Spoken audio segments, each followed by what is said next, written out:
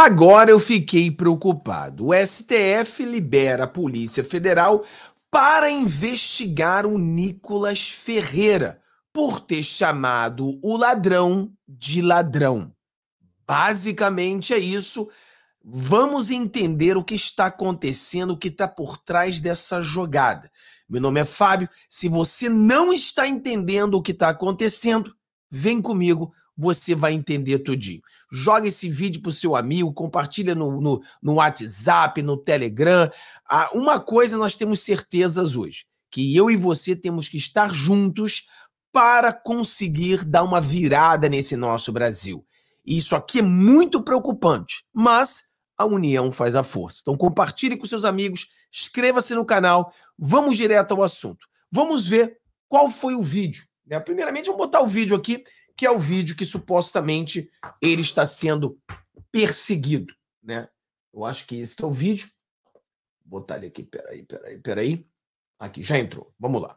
Olha nosso querido Nicolas. Vamos lá.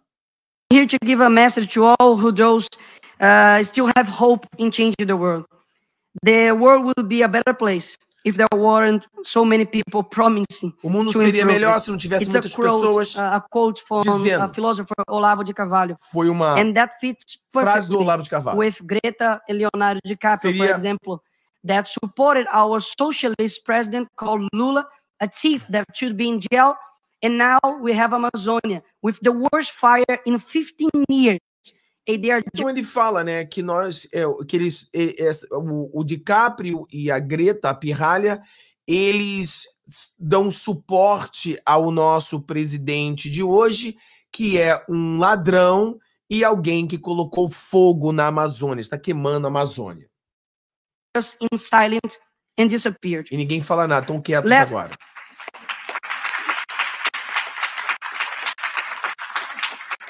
Let us first be the change.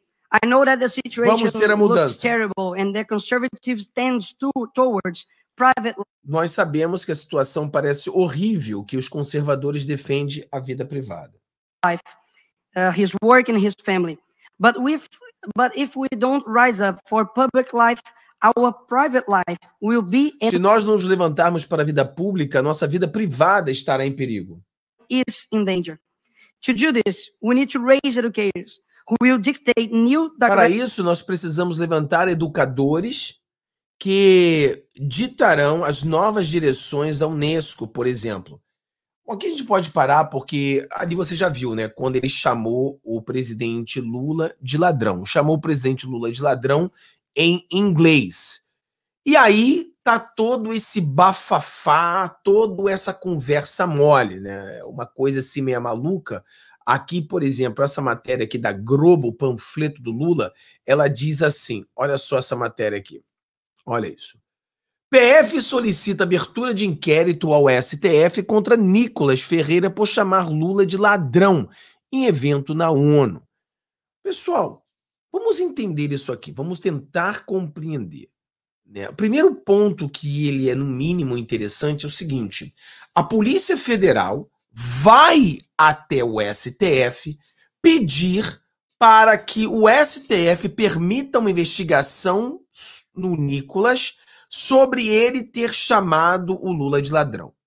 Primeira coisa que isso, o, o Nicolas poderia até dizer ou me desculpa, o Lula poderia até dizer que é uma calúnia, é uma difamação, e o Lula poderia querer assim processar o Nicolas. Mas não é o Lula que está fazendo isso, é a Polícia Federal, ou seja, a polícia do Lula, a polícia do Dino, fazendo isso, se doendo por ele. E aí, então, primeiro que não era para ter isso, não é, não é o Estado que briga contra uma difamação. Você sabe que o Estado, ele é contra o crime. Uma pessoa comete o crime, é o Estado contra essa pessoa. Difamação não. Difamação é a pessoa difamada contra a pessoa que o difamou. No caso aqui não. Supostamente o Nicolas Fermeira difamou, chamou o ladrão de ladrão e a Polícia Federal está investigando e o STF falou investiga sim. Pensa comigo. Investigar o quê? O que, que tem para ser investigado? Eu, em dois minutos, encontrei você o vídeo aonde o Nicolas chama o Lula de ladrão. Que investigação? Investigação é quando as pessoas aconteceu um crime e você começa a investigar para saber quem cometeu esse crime, por que, que o crime foi cometido, etc e tal. No caso, a acusação é de que o Nilo, Nicolas chamou o Lula de ladrão. Não precisa investigar. Todo mundo sabe que o Nicolas chamou o Lula de ladrão. Tá nesse vídeo na ONU, onde o Nicolas participava. Não somente o Nicolas, mas provavelmente uns 80% da população já chamou o Lula de ladrão. Bem simples assim. Então, que investigação é essa? Não existe investigação. O que está acontecendo é mais um, o que nós estamos falando, um phishing expedition. Da mesma coisa que eles buscaram um cartão de vacina. E do cartão de vacina, eles conseguiram procurar a vida do, do, do, do, do CID toda para procurar qualquer coisa que pudesse alcançar em outras pessoas. É isso que eles estão fazendo. Eles não estão discutindo ou investigando o Nicolas porque o Nicolas chamou o Lula de ladrão. Eles estão investigando o Nicolas para conseguir chegar de alguma forma até o Bolsonaro. É óbvio. É óbvio, é lógico. É lógico. Um, deputado, ele tem todo o direito de chamar um outro político de ladrão. O Nicolas é um deputado, estava ali na ONU, quer dizer, na ONU jovem, como ele bem explicou, ali falando com as pessoas de política, num cenário político, na posição de um político.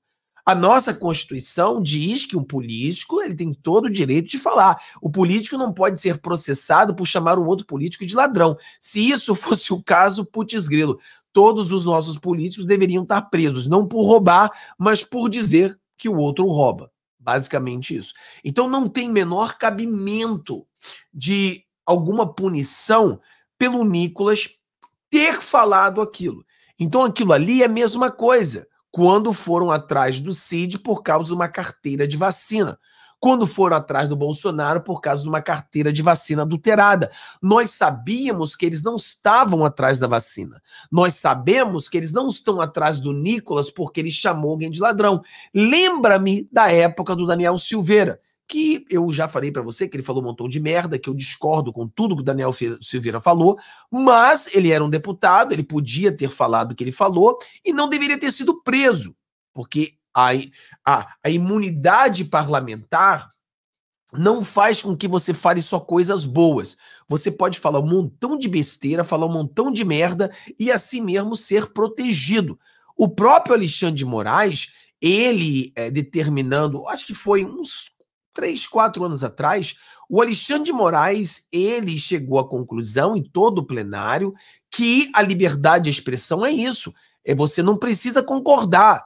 A liberdade de expressão pode até ser algo que você não acredita, ou algo até mentiroso, mas a pessoa tem autoridade, ela tem que ter a liberdade para dizer. Então, o que o Nicolas falou, o que o Daniel Silveira falou, ali a gente vê um problema mais sério, né? Por exemplo, eles falaram, estão sendo perseguidos por falas. E os deputados permitiram que o Daniel Silveira foram presos, não fizeram nada para defendê-lo. No caso do Nicolas, eu tenho certeza, pessoal, não é a mesma coisa.